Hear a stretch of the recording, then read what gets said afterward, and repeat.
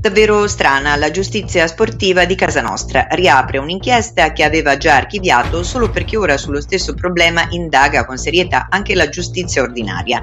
La Procura federale, ai sensi dell'articolo 63 del Codice di giustizia sportiva, ha chiesto infatti la revocazione parziale della sentenza con cui la Corte federale d'appello aveva assolto nel maggio scorso la Juventus e altri nove club nel processo relativo alle plusvalenze di bilancio. Il perché della decisione. Alcune fonti sostengono che evidentemente la procura guidata da Giuseppe Chinè ha rinvenuto nella lettura dei documenti forniti dalla procura di Torino nuovi elementi in grado di fare riaprire il caso.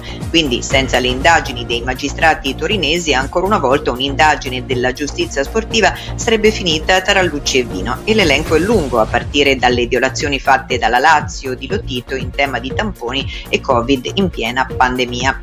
La Corte adesso avrà 30 giorni di tempo per convocare l'udienza in cui la Procura chiederà nuove sanzioni non solo nei confronti della Juve ma anche contro gli altri club coinvolti nel primo processo per presunte plusvalenze fittizie generate nelle operazioni di mercato con il club bianconero.